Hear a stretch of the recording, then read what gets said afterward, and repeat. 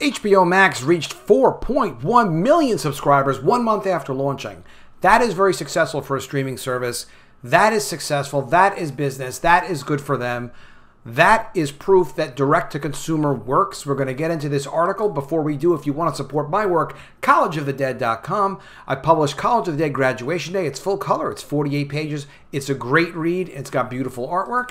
Also, you can sign up now for epicmermaids.com. The Mermaids. It's an epic mermaids fantasy. It's Game of Thrones with mermaids, full color, 48 page comic. You will love it. Back to the article. HBO Max reached 4.1 million subscribers one month after launch. That is very impressive. CEO John Stankey lauds the flawless launch, as he calls it. Yeah, he, he, they got lucky, okay? But still, it's pretty good. HBO Max attracted 4.1 million overall subscribers after its first month, AT&T CEO John Stankey said Thursday, lauding his team for a flawless launch despite the problems going on in the world today. The figure includes more than a million, but not that much more, more than a million wholesale customers from AT&T wireless packages that include HBO Max. So that means people that got the subscription because they had AT&T wireless packages. That ain't free, but still it's a little bit less money than their typical uh, subscription sale. And their typical rate for a subscription is $15. About 3 million customers were regular retail subscribers at 15 bucks each. Okay. The company hopes to reach 50 to 55 million HBO Max customers in the US by 2025, and management said Thursday's on Thursday's second quarter earnings conference call that it was on track to meet those subscriber numbers as well as activation and revenue goals. Well, good for you guys, right? That, that is pretty good. The whole that's why direct to consumer also subscription service.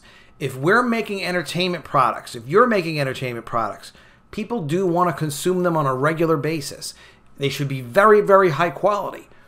But still, on a regular basis, people are expecting to get uh, entertainment content. And yes, continuity helps. Let's move along. Back to the article. Combined, HBO and HBO Max have 36.3 million subscribers up 5% since the end of 2019. So, as much as cable has been in trouble, and we've all heard about all the cord cutting and stuff like that, HBO and HBO Max are doing all right.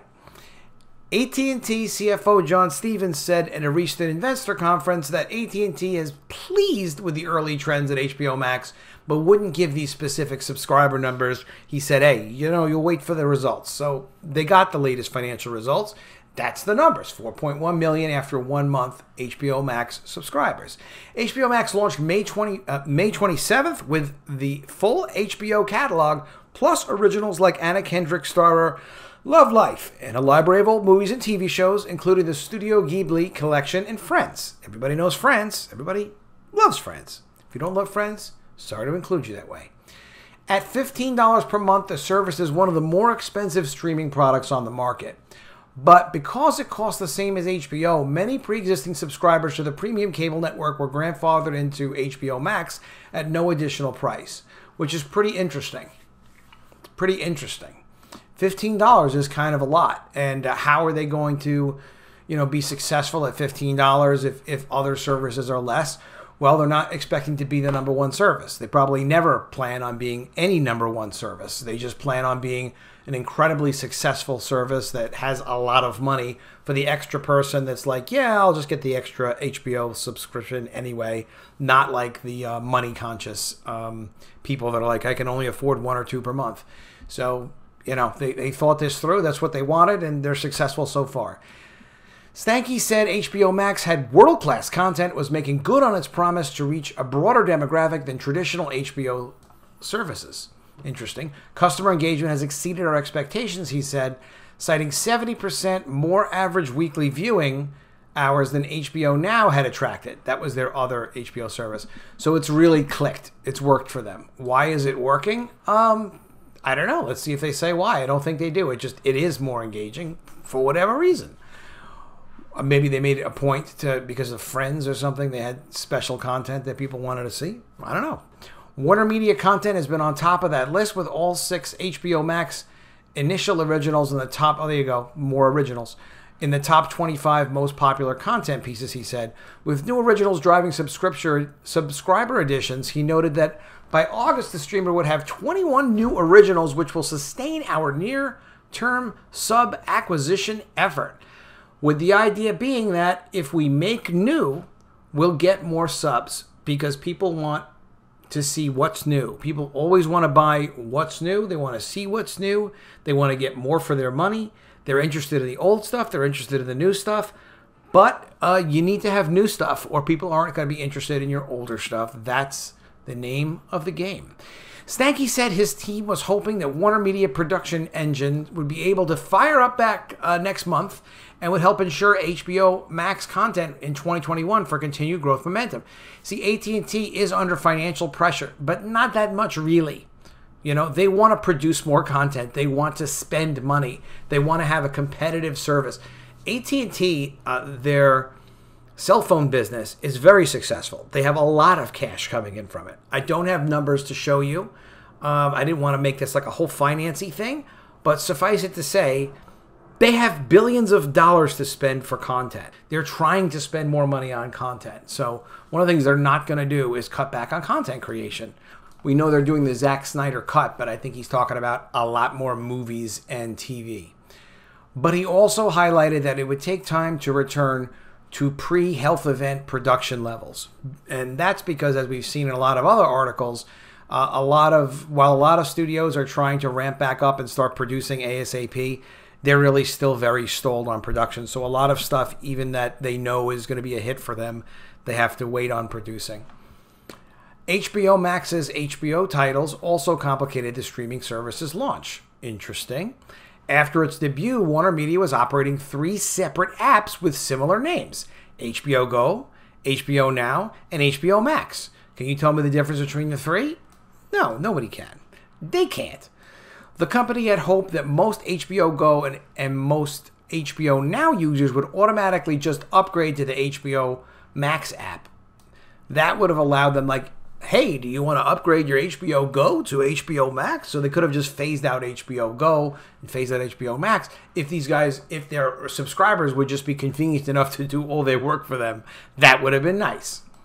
But it wasn't able to strike, uh oh, HBO Max distribution deals with Roku and Amazon, leaving a large portion of its HBO subscribers without a way to access HBO Max on their connected devices.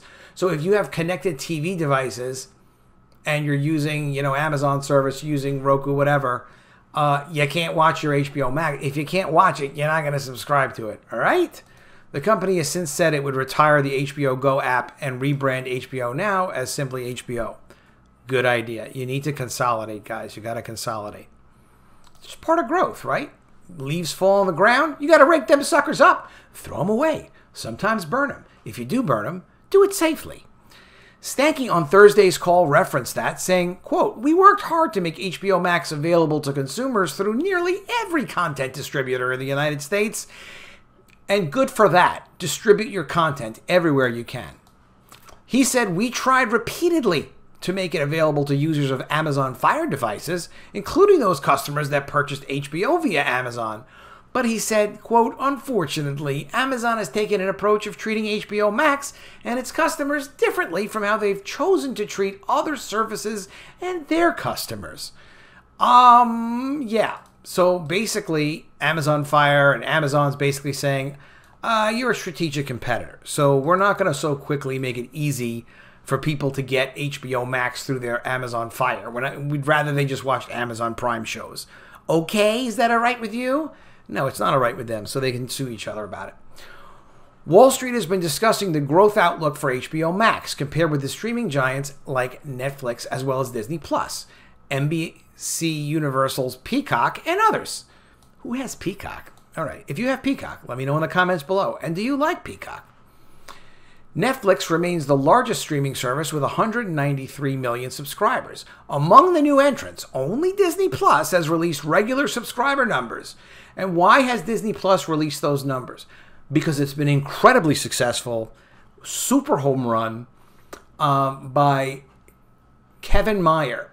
He was the one who was in charge at Disney. He was one of their like high level uh, vice presidents and he's since left for another company, uh, or Ken Meyer, uh, maybe Ken Meyer. In any event, uh, he executed on that, and man, that guy is amazing. He should have been CEO of um, Disney after uh, Bob Iger. But in any event, yeah, they racked up 26.5 million subscribers in their first three months at Disney and now have a base of nearly 55 million subscribers. So Disney's killing it with Disney Plus, absolutely killing it. Which is unfortunate because it means they're going to drive their content creation for their subscribers. So that's going to be priority one, direct to consumer.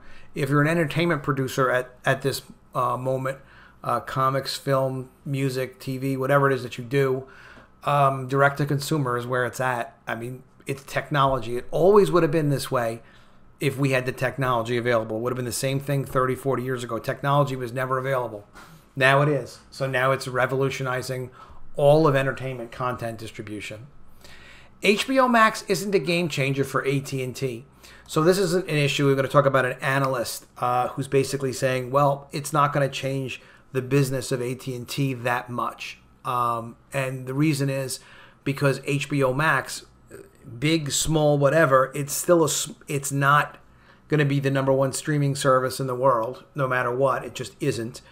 Uh, it could be very significant for content distribution, but it's not going to move enough of a needle at AT&T to change the makeup of AT&T as a company because uh, it's too small within AT&T, and it'll always be too small. When you invest in AT&T, you're still investing in um, a very successful, because it is successful, a good cash flow generating um, subscription service company with the phone platform and now more so with these entertainment platforms. Um, but at, it's not going to change the nature of the business of AT&T. So let's see what this analyst says. So uh, Vijay uh, Jayant wrote in a report published days after the launch of the streaming service, HBO Max's launch has thus far been notably less smooth than the launch of Disney Plus due to a variety of factors, including the confusing branding, uncertainty about how to get the product, and limitations on how consumers can actually watch the product, particularly on television. And we just talked about those challenges. HBO um, Max compared to HBO Go, compared to HBO Now, the confusion with that, and the fact that Amazon is not going to cooperate with helping to promote uh, HBO Max and get any kind of uh, sustainable momentum for subscribers. They, they're happy that if you have Amazon uh, Fire, you can't get HBO Max. Uh, that, that, that makes ha- Amazon happy for now because they're a competitor. He added, with that said, we believe HBO Max is a good product with strong content lineup and a solid but not particularly distinctive user interface and the backing of a highly regarded brand. Okay, explaining why HBO Max isn't a game changer for AT&T in the eyes of investors, the same way that Disney Plus has been for Disney. Uh, Jayant said content remains a relatively small portion of the AT&T business, not the core as it is with Disney. So we see little chance that investors will begin to look at AT&T on the sum of the parts basis, valuing HBO Max on a per subscriber basis as with Disney and Disney Plus.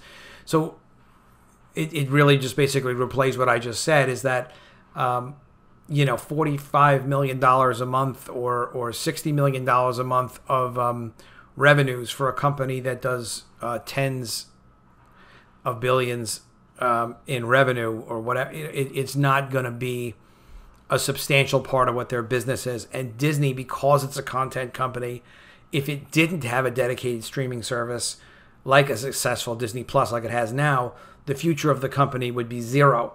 Right now, they're undergoing tremendous challenges because of the shutdown. But even with that, don't get fooled. You know, uh, Disney can take a fifty billion dollar charge if they need to, like a one time. Oh damn it! You know we lost twenty five billion, we lost forty billion for a once in a hundred year event, um, like the shutdowns. Uh, but it, it, Disney's not going anywhere, and they don't run out of money. They practically print their own money, not just from cash flow, but because of their huge, huge status as a, a, financial entity. I would not. I'm not making investment recommendations here. I would stay away from um, Disney as a stock, you know. But that said, Disney's not going anyplace, and Disney Plus ensures that they're going to probably be the number two streaming service compared to uh, Netflix, and that's a gigantic uh, position to have in entertain, entertainment content and distribution. They're not going anywhere, whether we like them or not. Stankey, who also became CEO um, July 1st, that's good for him, uh, recently said that amid the shutdowns and stuff, we expect the customer demand for HBO Max to be as to be high, as high as what we expected.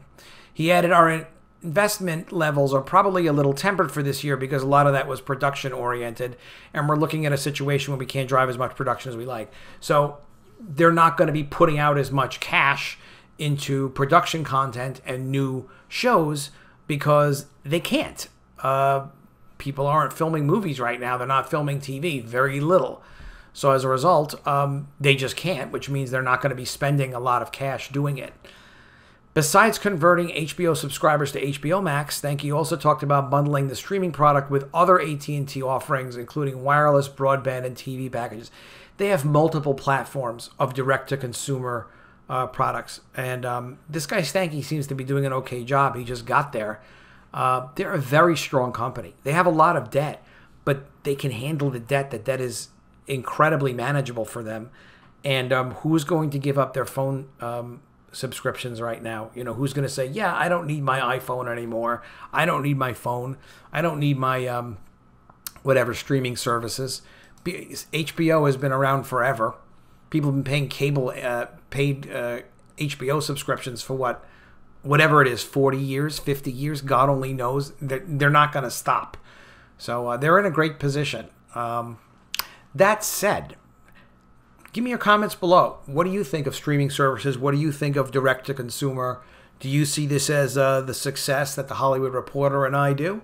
Um, or do you think we should be more uh, skeptical of it? Let me know what you think in the comments. Uh, subscribe to this channel, click the bell for notifications so you can find out about stuff like this. And if you want to support my work, collegeofthedead.com. I can't think of a better cause. Uh, you can get graduation day. You can get the making of books. There's a lot of cool stuff there. Check it out. It ships immediately. And sign up for the upcoming series, The Mermaids. It's an epic mermaid fantasy. It's Game of Thrones with mermaids, really. It's full color. It's a self contained universe of 30 um, mermaid characters. It's really wild. It's, I'm really, really proud of how that came out. I will see you again soon with another video. And if I don't see you, I will miss you. See you soon.